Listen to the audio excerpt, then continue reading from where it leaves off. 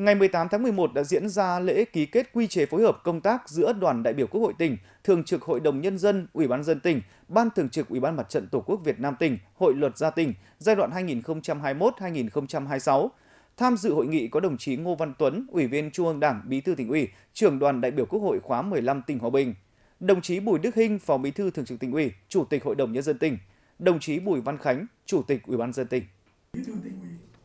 Giai đoạn 2016-2021, các cơ quan đã thực hiện nhiệm vụ theo quy chế, tuyên truyền vận động nhân dân thực hiện chủ trương của Đảng, chính sách pháp luật của nhà nước, tuyên truyền trước, trong và sau Đại hội Đảng bộ các cấp, bầu cử đại biểu Quốc hội khóa 15 và đại biểu Hội đồng nhân dân các cấp, nhiệm kỳ 2021-2026,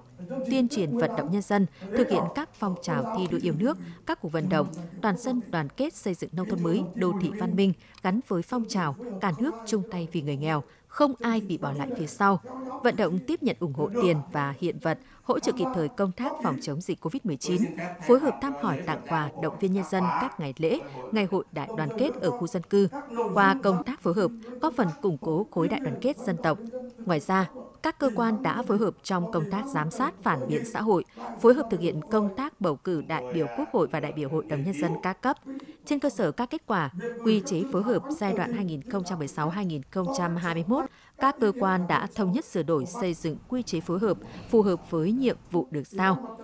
Phát biểu tại buổi lễ ký kết, đồng chí Bí thư tỉnh ủy nhấn mạnh, quy chế phối hợp công tác là một trong những nội dung quan trọng để các cơ quan thực hiện tốt các chức năng nhiệm vụ được giao. Các quy chế phối hợp phải thể hiện rõ người rõ việc, trên cơ sở của các kết quả trong quy chế phối hợp thời gian qua, các cơ quan xây dựng kế hoạch cụ thể để triển khai, đồng thời tăng cường trao đổi thông tin nhằm đưa ra những quyết định chính xác hiệu quả, góp phần thực hiện tốt nhiệm vụ chính trị của tỉnh.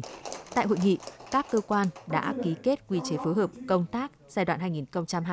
2021-2026 giữa các đơn vị.